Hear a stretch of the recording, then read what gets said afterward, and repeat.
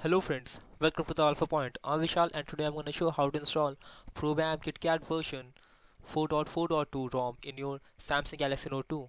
So the first thing that we need is to install the Philz recovery. If you don't have the Philz recovery, you can check out the description or the link above.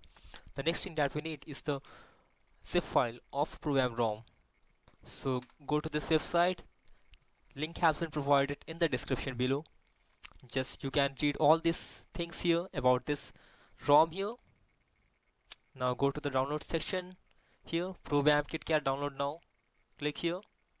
Now select your device N7100. Download the first one here, zip file. It will start download downloading in 7 seconds here. So first download it and save it in your drive as I have already downloaded it and placed it in my desktop here so we just need to copy this. Don't extract this file here. Just copy this file and paste this into the SD card of your Note 2 it will take some time here. Now as you can see the file has been copied here. So now I just want to warn you that before proceeding from here take a complete backup of all your documents contacts messages images music videos everything that you have in your internal SD card or in your phone here. So then you need to proceed. Now disconnect your device from your PC now we need to start the phone in recovery mode. To start the phone in recovery mode we need to press volume up button home button and the power button at the same time. So let's start the phone here. The phone is booting in recovery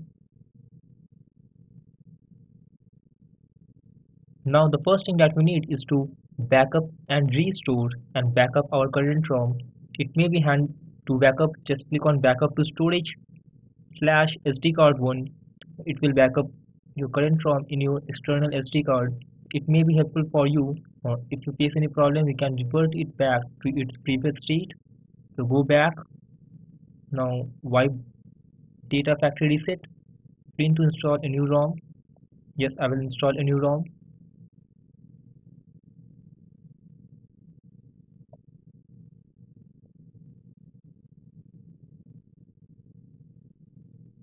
Will take some time here for few seconds wait for few seconds here.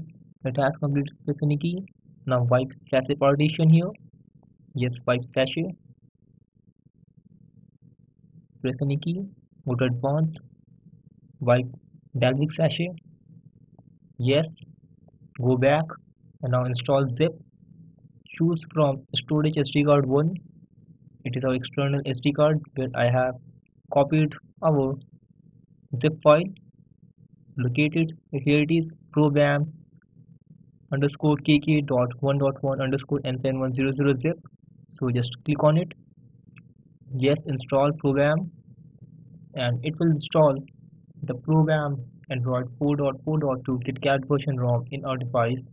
Uh, i find it the best kitkat rom for samsung galaxy note 2 it is super smooth with no lag and everything works fine as you can see it has completed here. Press any key.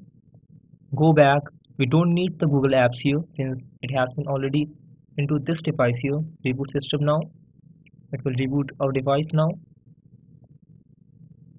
It is the first time booting after installing any custom rom here. So it will take some time.